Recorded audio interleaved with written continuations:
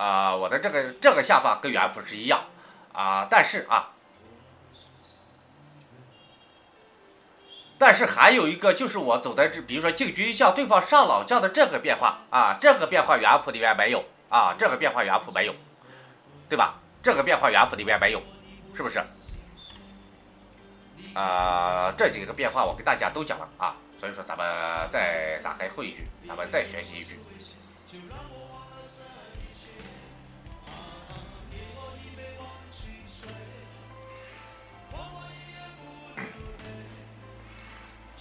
句。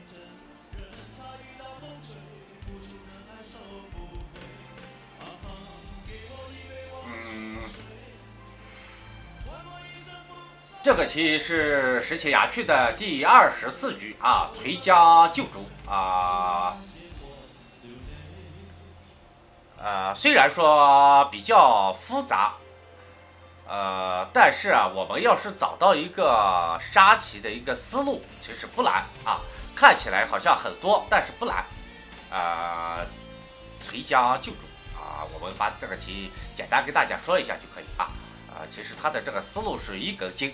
没有太多的一个变化，啊，不像上一局，上一局看起来捉发不多，但是上一局我觉得比较难。这一局虽然都捉发多，啊，但是啊，它不难啊，卧槽一将，然后出老将，啊，还是一个借炮死马的一个思路啊，搞一将，然后你上士，这和前面我们下过的几个好像差不多啊，然后退马一将，你再回士啊，回马一将再上士啊，上马一将再落士。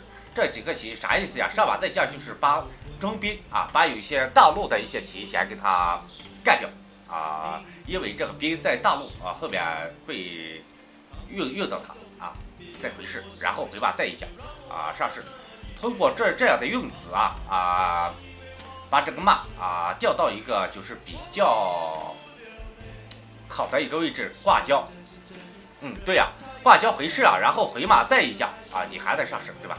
啊，再一将，你落市，然后回马再一将，你还得上市，对吧？你上市之后跳马再一将，你还得落市，然后一将。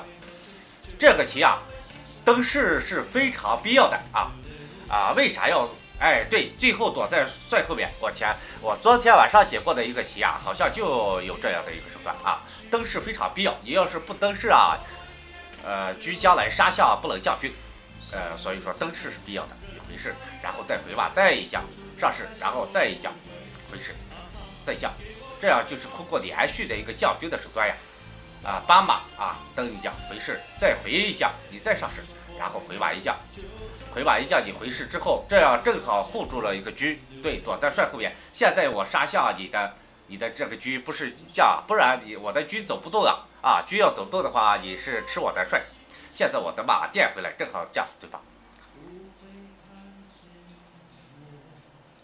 啊，这一局呀，虽然说招数比较多，但是我认为这一局其实比较简单，它是一根筋啊，不像上一局。上一局虽然看看起来招发少，但是上一局其实比较难。上一局是失气雅趣里面的一个难点。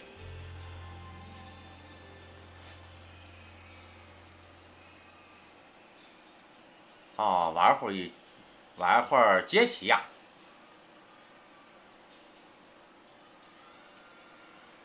呃，神造这个棋一根筋，我跟你说，一根筋的棋其实简单，真的简单。像上一局那样的变化啊，有四五路变化的那样的棋，其实是算是比较难的。这样的一根筋的棋，其实你仔细算一下，你只要把这个思路找到，真的很简单。呃，就就不，其实我们解残局的时间，啊，不用怕这样的一根筋，啊，一根筋的棋算是简单。看起来好像捉法很多啊，但是算起来很简单。我就怕的那种变化非常多的那一种，你算起来各种变化全部要算到，这个再没有其他的变化啊，就是一根筋往下算就可以。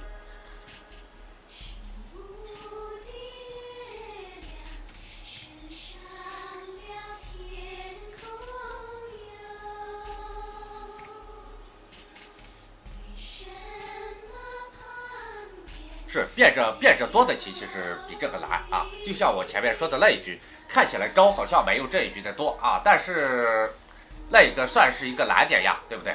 咱们今天的这这一局讲完啊，对。